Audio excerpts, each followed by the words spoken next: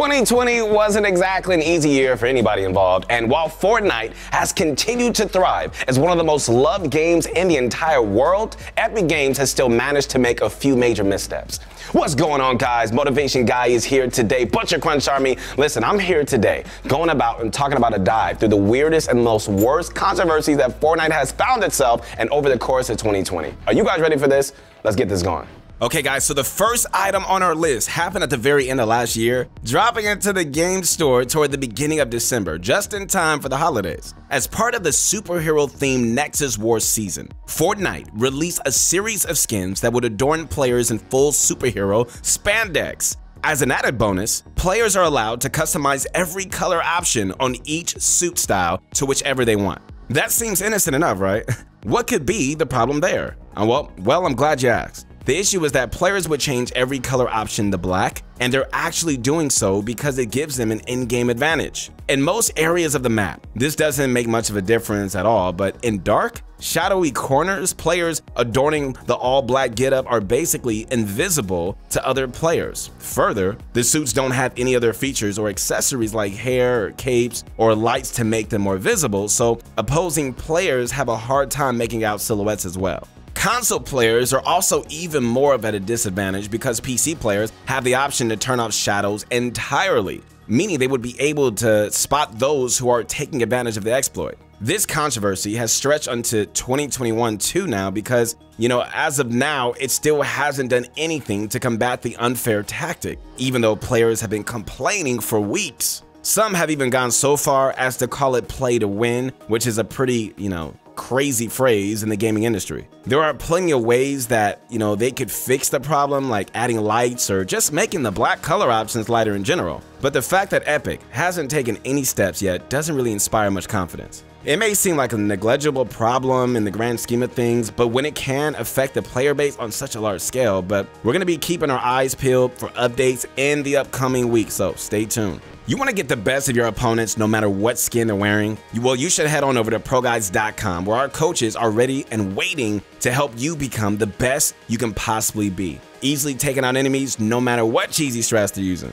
All right, guys, so next up on our list, hope you guys are still here, man. I believe in you guys. Come on, Bunch Crunch Army. You better keep going, man. You better keep getting better and better every single day. Here we go. So next up on our list is a classic problem that has plagued many multiplayer games, and that includes Fortnite too. The controversy is surrounding the game aim assist, or more specifically, the fact that it changed. Rather than aimbot, which is a common cheat that hackers will use to automatically lock into a target, aim assist is a feature that is already built into most games, as a feature particularly on console. So the idea is that it can be difficult to get a lot of precision with the joysticks on the controllers, so the devs help you out by just nudging your sights in the right direction when you're close to an enemy to make the gunplay feel more accurate and more enjoyable to play with overall. On the other hand, the mouse and keyboard doesn't require aim assist because it allows for quicker, you know, more nuanced movements, making it easier to aim.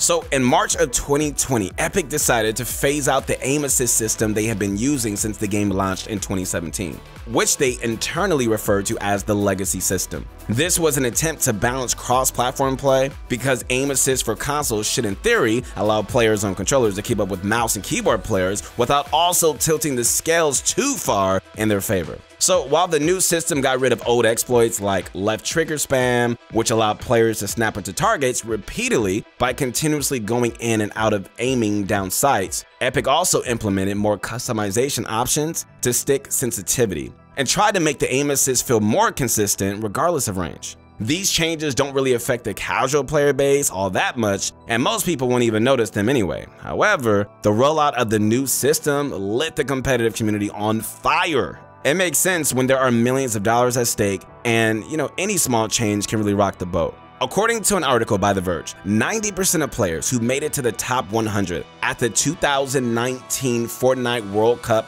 were playing on mouse and keyboard, with only 4 or 5 instead opting for controllers. In 2020, more than half the top 100 were on controllers, with 55 players compared to 45 who stuck with mouse and keyboard. So there's really no right or wrong answer on whether players should be able to use the aim assist feature on a professional level, but many of the top pros seem to have a problem with it, saying that players should rely on their raw skill. But the other side believes that if it's a feature of the game, that there's no problem with it, so it's fair game for competitive play. Regardless of what reigns supreme in the current meta, we have a feeling that this debate is going to continue on into 2021 and maybe even years to come. Okay, guys, so our next controversy is less one that has to deal with Epic's actions and more with the pro players themselves. Okay, so coincidentally, it also centers around the events of the Chapter 2 Season 2 FNCS. During the tournament, two different teams were caught cheating, making four total players who were involved in the incident duos Slackes and Keys and Kreo and Bucky who originally got first and second place respectively. So rather than hacking into a game's systems to cheat, as is how most cheating is done in multiplayer games, the players actually took advantage of one of the game's actual mechanics, Storm Surge. Implemented to discourage camping, the feature damages you after a certain amount of time if you don't damage any enemies. So, in order to skirt the rule, the teams colluded to trade shots back and forth without actually killing each other, therefore forming an alliance and giving them an unfair advantage over the other teams. It obviously worked too if both of the teams won. To make matters even worse, they did this in more than one game, not just one, okay? After Twitter user Droxide shared a video of their suspicious gameplay online, Epic was quick to drop a 60 day ban on the four pros, who also had their wins revoked as well. It's wild that players would even still try to cheat like this, you know, with all of their gameplay footage is being live streamed and recorded like this. But, you know, as we all know, people will do literally anything to try to win. So in our second place is another controversy of 2020 that got Epic into some seriously hot water when they were called out for rolling Fortnite ads on some questionable YouTube channels. Hmm. It's no secret that the game's audience skews a bit young with the cartoonish, you know, kid-friendly art style, you know, bright colors and silly dances, which places a higher level of scrutiny on how the developer chooses to market their product. In February of last year, The Verge posted an article reporting that Epic was pulling ads from questionable videos like bikini hauls, for example. So, for those who aren't familiar, all right, these are usually harmless videos of women showing off new bathing suits they bought. Unfortunately, it's also common for child predators to use the comment sections of these videos to sexualize young adults and children, and, and even much more share incriminating content.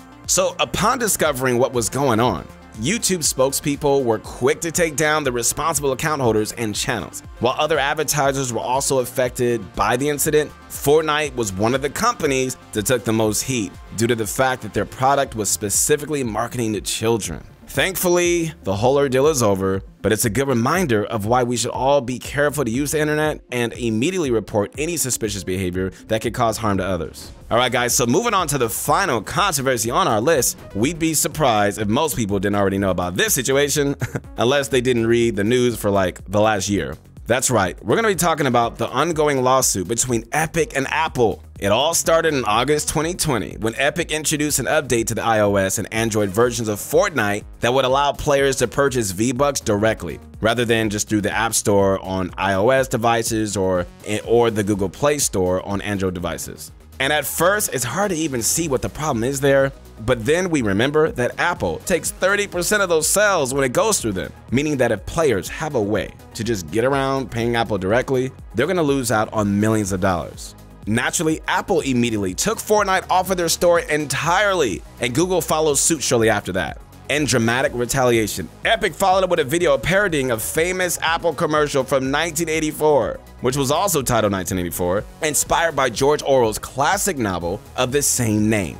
The original commercial is considered to be one of the best commercials of all time and skyrocketed the tech company into fame in the late 80s.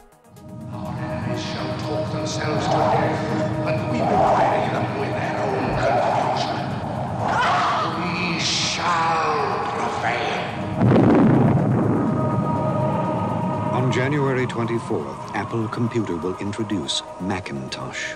This power is ours and ours alone. We shall prevail.